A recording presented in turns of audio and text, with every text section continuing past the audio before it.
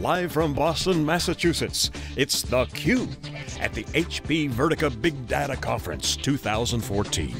Brought to you by HP.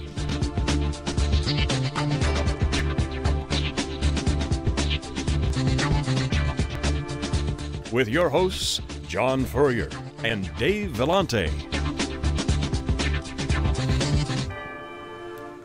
Okay, welcome back everyone. We are here live inside theCUBE. This is uh, our flagship program. We go out to the events and extract the signal noise. I'm John Furrier with Dave Vellante and Jeff Kelly wrapping up day two, close to the HP Vertica, or the HP Big Data 2014 event. Vertica, Autonomy was here, all their partners. Basically their ecosystem, their customers, which also includes developers. And we had a great, great day. This morning we started with the keynote, Dave Vellante and I headlined the keynote this morning and really kind of broke down a CUBE interview, broke down the, the trends in big data, followed later by a keynote by Tom Davenport, uh, Babson professor, author, um, and really a great day in big data. So I got to just summarize by saying Dave and Jeff, we did a good job, I thought, on stage.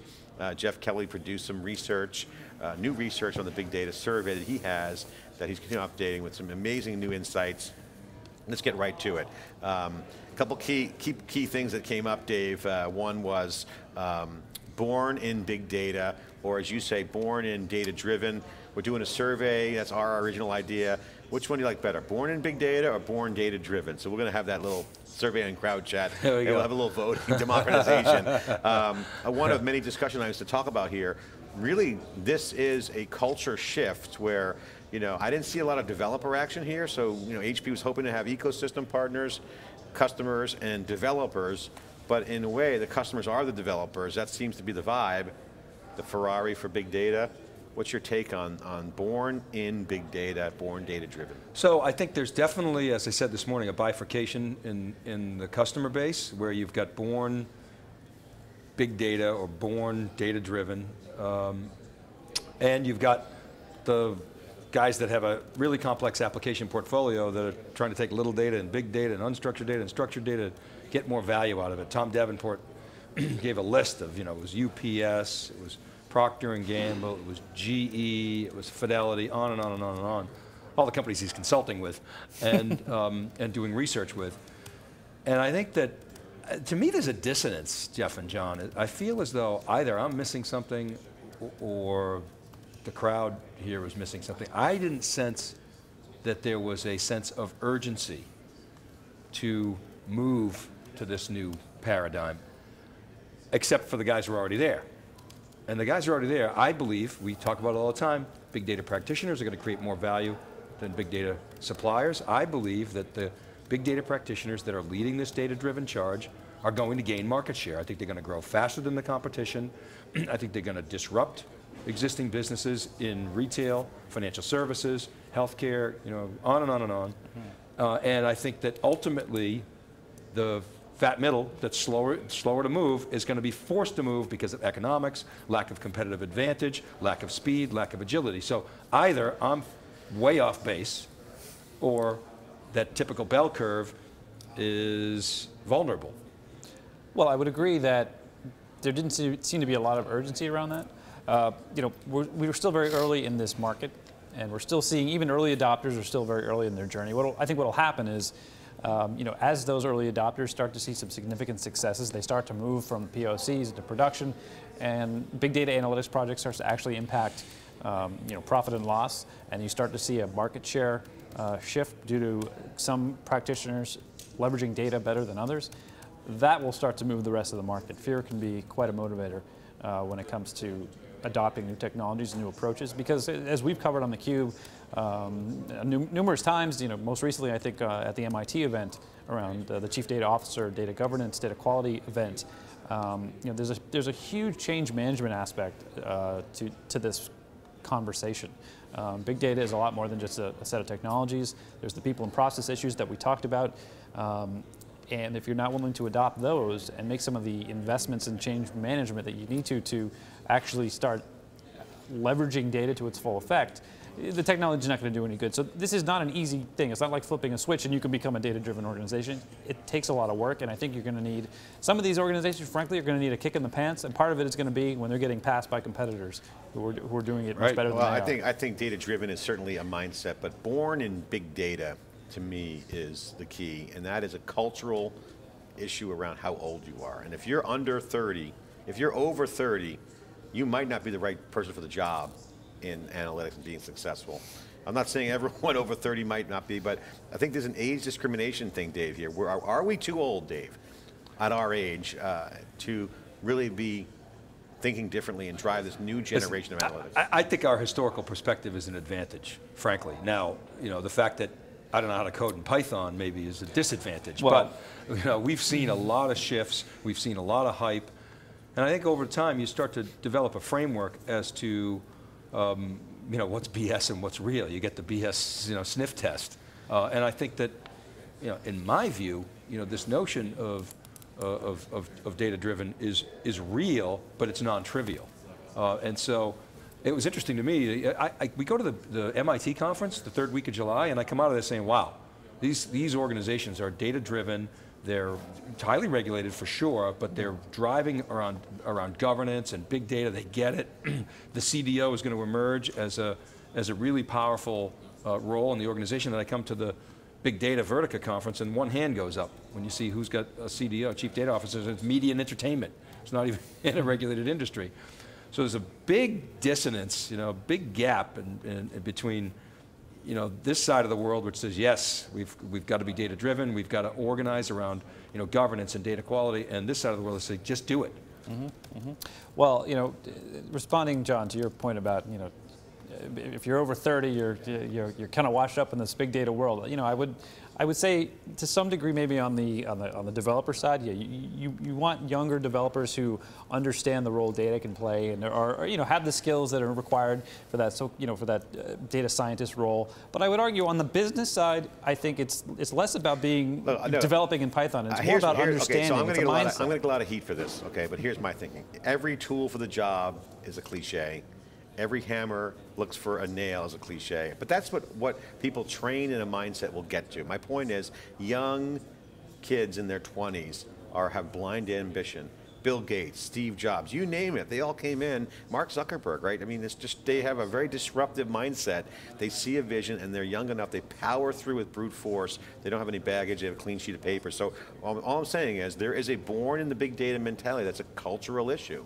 Where I mean, I was talking to uh, one of the HP guys here. His son's in high school coding Twitter data, and to get into college, he basically used all the Twitter data, cross-checked with LinkedIn, and said, "Here's the guys starting companies that are in at a Crunchbase out of your college. You should hire me." Should, and he's like, "That's his admission essay."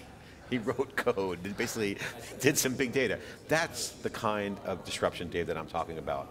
Okay, but so that's a modern day version of us showing up. You know, I, how did I get my job at IDG? I showed up on the fourth floor and I started knocking on doors.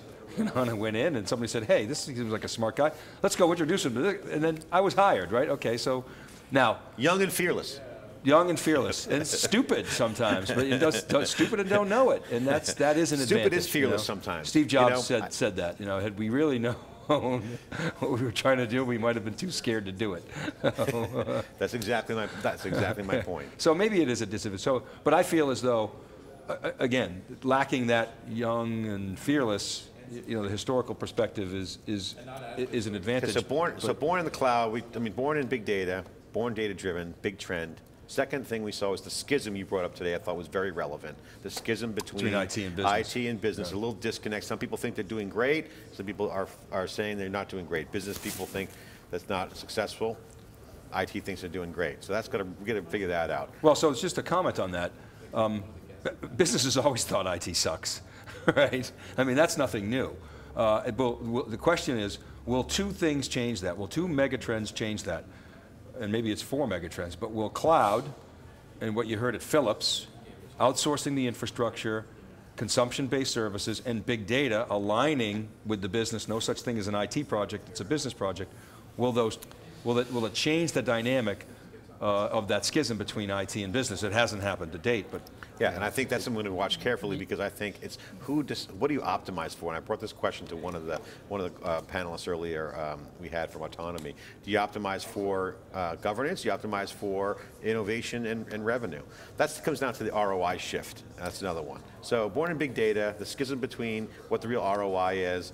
Second key point, Dave, was you brought up on stage on the, during our keynote was the bubble. Where is the bubble in big data?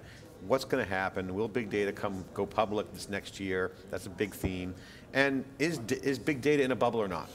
It's And bubbly, wouldn't you say? I think we're in a bubble in a good way, but I think the real bubble is what big data is bubbling to. They're enabling storage bubble, flash storage, cloud bubble. That is definitely happening. And I think that's because of what big data is offering. So that was very interesting uh, uh, discussion. Certainly valuations are, are there high too.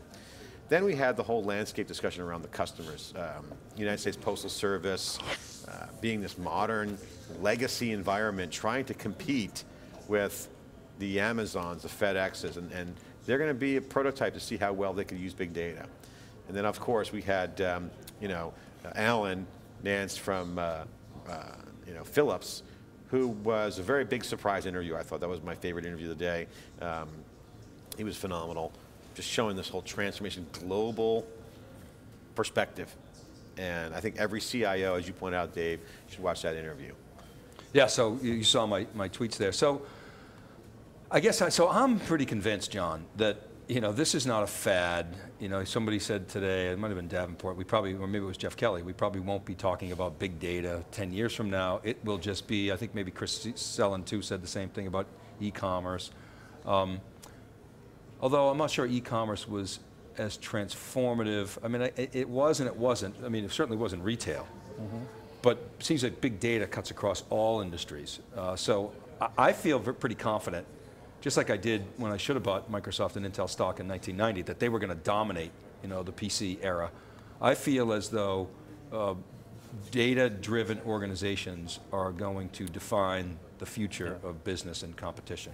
You know, the challenge, of course, is picking those winners in, in, from the technology and services providers side of the equation, and trying to determine, you know, who the winners are going to be from a practitioner perspective is obviously a huge challenge. But as we've stated numerous times, it's the real value is going to be created by the practitioners. There will be some major look. There's going to be some IT vendors that are going to make a lot of money on this as well, um, but it's really going to be the practitioners that I think are going to drive the most value.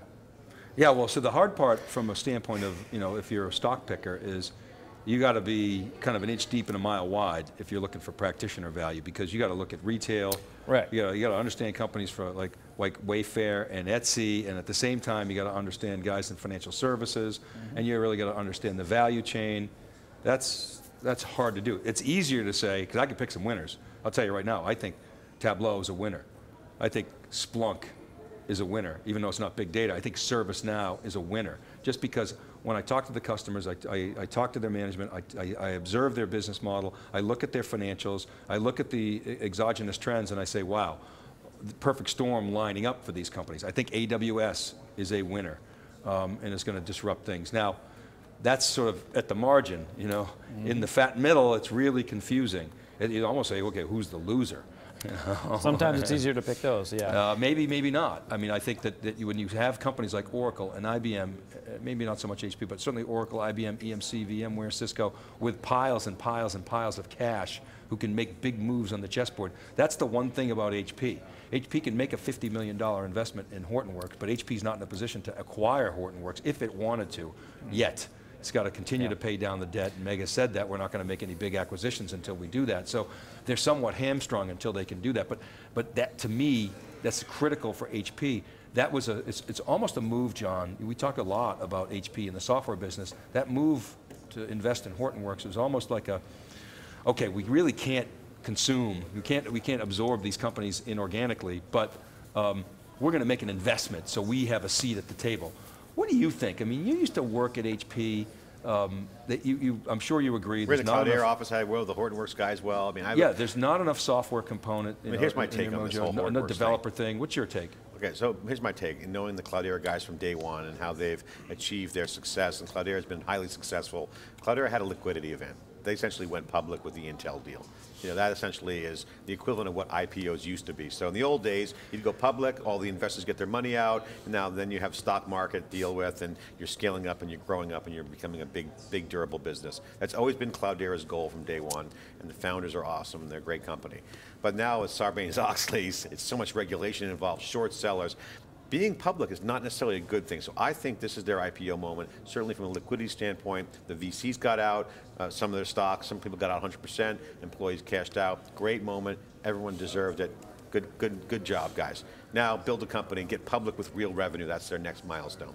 Hortonworks came into the market second, and I was going to say this on stage. I was very skeptical of Hortonworks when they first came yes, out. Yes, you were. I remember that. And I was like, like I don't think this is going to work they're coming in, and of course I had a little bit That's of. That's because you were a Cloudera fanboy. I was a Cloudera fanboy in their office. At least but, you can admit it. And, you know, but you know, I fell on my sword multiple times, and these guys know that, and they really were humble. They, they did not play nasty in the sandbox, although there was some bad blood between Cloudera and Hortonworks.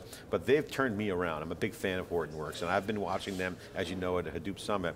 This was a great move for HP. I'll tell you why. Even though they had MapR from a sales perspective and partnership, by investing in Hortonworks, Martin Fink, the architect of open source, wrote the book on Linux with their work at Red Hat. Eileen, who I've interviewed OpenStack, is on the Red Hat board. They're on the OpenStack board. Uh, Monty Taylor, great people at HP, engineers, really investing in open source. This was a game-changing statement from Martin Fink and Meg Whitman saying, we're going to use open source as a key enabler for the company. This was a strategic, offensive maneuver at the same time to play a little bit of defense because the Wintel relationships are now over from the old PC days. So Hortonworks' relationship with Microsoft, this is now my speculation, plays beautifully into this. HP, Microsoft, Surface, new CEO. I mean, you can almost connect the dots there, Dave. This could be a game-changing move for HP to get that relationship with Hortonworks, get more distribution for open source, at the same time give HP some source code to sprinkle into roadmap and products in the data center, cloud, other areas, and build it into their industrial strength global platform. That is interesting, and I think that is a strategic reason why Hortonworks and, and why Martin Fink has a board seat. Yeah, that's good, good analysis. I, I, I also am intrigued by MapR. Where's MapR? And, and I, I wanted to bring that up and, too. And I've always liked MapR. When I first met John Schroeder, I said, okay, this guy's got balls, right? They said, you know what, we're not going to wait around. We're not going to you know, play the open source kumbaya thing. Yeah, we, we use open source, but we are going hard after solving a problem that nobody is solving right now, making Hadoop you know, more enterprise grade. We're going after that, it, which essentially is a niche, okay? So at the time, what percent of the world needed that? But we're going to bet that over time, more and more people will, and we can race faster than the open source industry uh, at large. Now, is that going to be the ultimate end game, where they dominate they're the dominant platform? Probably not, but are they going to create value and be a really interesting acquisition candidate? I think yes. Well, I think you know they sometimes get left out of the conversation with Cloudera and Hortonworks, and I think that's that's unfair. I mean, most of the customers I've talked to are really happy with MapR. They're executing. Now they're not as big as the other two, but they're executing in some really interesting environments. Um, they just had a big funding round with Google Capital leading the way. So I think that says something as well. They're making investments in cloud early. Out, of the Hadoop vendors, they've, they've made investments in um, Google, Google's cloud, Amazon's cloud early. So they're setting the stage for that. Um, and just a little anecdote, not necessarily that means a lot, but you know, the, the, the big relationship between HP and Hortonworks got a lot of press. HP is a big MapR customer. They actually use MapR internally. And I don't know if everybody knows that, but I think that says something. They do now. and it's, uh, trust me, I double checked that we could publicly talk about that, and in fact we can. So, you know, they are, a, they are the enterprise grade Hadoop distribution right now. Um, you know, they have the challenges that you talked about as the open source community maybe catches up, adds functionality that MapR was using as a differentiator. That is a challenge for them. That's part of the challenge of the business model. Um, but they're capitalizing early. They're having a lot of success with their clients in financial services and retail you know. Look, I call this out at Hadoop Summit. MapR is successful. They are part of the big three. They are a player. They have their employee count and their customer count. You ask any company, this is where the meat on the bone comes into play, as I always say, especially companies going public. how many employees do you have and how many customers do you have? And then you look at the rounds of funding, you look at cost per sales, you can just see the numbers and you go, okay, it just closed $100 million just recently, but prior to closing a $100 million round of financing, they had hundreds of employees, 500 customers. That didn't come from a few tens of millions of funding. That came from pure traction. So to me, I think MapR actually has a, a viable business there. I think there's a lot of sustainability, Dave. I got, they, they don't get a lot of credit for that because people think that they're proprietary even though it's, it's open source, but they work on the hard stuff, the data recovery, the backup, stuff mm -hmm. that's important for enterprises, and I think that's always been their And focus. they glommed onto NFS early, which nobody else had. Uh, and that's that's a you know they solved the, the hard problem that no one gave them credit for because it was boring, right? I mean, the hard stuff in between the toes details of enterprise deployments right. is mm -hmm. boring, very profitable yeah. business. Security, the snapshots, yeah, yeah, absolutely. That they, is not something to be laughed at. It's not sexy. It's not front page headline news like oh innovation, you know it is, but it's hard. Well, but you remember when all the big enterprise whales started to get into this business, every single one of them, uh, dating back to whenever it was EMC World in uh, May of 2012, I want to say, uh, maybe even 2011, when they did a deal. Yeah, 2011 when they did the deal with, uh, with, uh, or they, I guess they had a deal with MapR, and then they went out on their own. They announced their own distribution, Greenplum yeah. distribution. They said, what did they say? We're going to make Hadoop enterprise ready. And MapR, they said, well, we're doing that. You know, we're ahead of you on that. And mm -hmm. I think there's meat on that bone to use a John Furrier phrase. So, so competitive strategy, social media marketing came up. These are new grounds that we haven't really explored much, Dave, with big data. Uh, you missed the interview with Yuko Yamazaki, head of analytics at Zynga, uh, Zynga with Joanne Ho, What's Zynga manager. doing? What was what was uh, what the key takeaway there? The, the, thing about Zynga was, first of all, they were very awesome to come on the cube, and they came on and were very candid. Um, great ladies in tech. Add them to our women in tech. Uh, early Vertica customer, yeah, um, early Vertica, been there for years. They built an end-to-end -end platform, and they standardized a data taxonomy early. Scheme is all set up standardized and then now are portaling that analytics platform for every new game. So the product managers drive the data modeling that feeds directly into the, to the user experience. They also done some good growth hacking using the data. So, so we talked, we brought up growth hacking and, and some cool stuff there. So how's it working? Did, did it come up that they're, you know, they moved off of the Amazon cloud in house? Did that come up at no, all? No, I didn't want to bring that up because we really wanted to keep the focus on the analytics side. Um, I'm sure they probably would have not commented because they were a different department. But, well, uh, but, I, but what's the? What, you guys have any scuttlebutt on that? My, my information suggests that it's not worked out as well as they had hoped. Um, that it's more complicated than they thought. No, and I the mean, whole Zynga team, this is my other info, info here, a little scoop on the cube. The whole Zynga team, the whole, the core of the Zynga team that moved out of the Amazon cloud into their own private cloud has moved to Uber. And Uber's Ooh. moving in the same direction, not Amazon, but they're moving off their public cloud or you know, hosted cloud into on-premise. So anyway, that didn't no, come no, up. but this is but this is exactly what um, um, CB was mentioning from Etsy. You, uh, you, it's, everything's a hack until you hit your next fail point, right? Yeah. So you're one fail away from being exposed as a hack. Right. And the hack that lasts the longest becomes the deployment. Amazon, as we know, is great for startups, but at some point there's a, there's a deficiency in the diminishing return, Dave, of Amazon pricing with SLA. So to me, all the startups that were, were big hits, Twitter, Zynga, now Uber, have all taken that track. They've gone to Amazon, and CrowdChat will probably take that same, same path. We'll stay on Amazon until the point is we need on-prem. So this is the trend that everyone is doing. So the other thing that I want to end on here is uh, consumption-based infrastructure. That came up from Alan Nance. That's a term that I love. Yeah. Consumption is a new, cool term.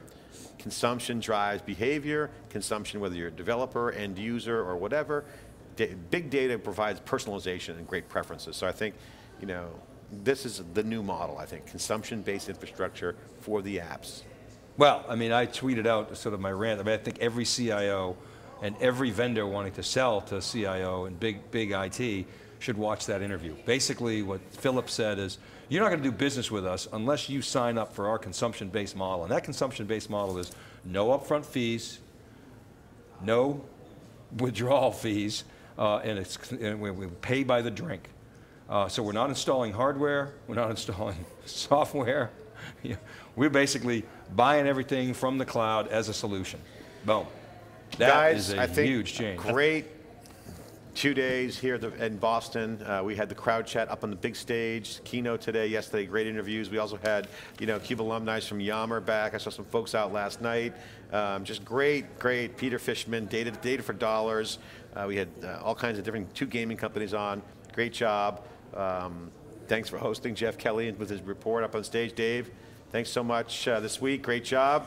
This is theCUBE, wrapping up here at HP Big Data Vertica conference. Big Data 2014 is the hashtag.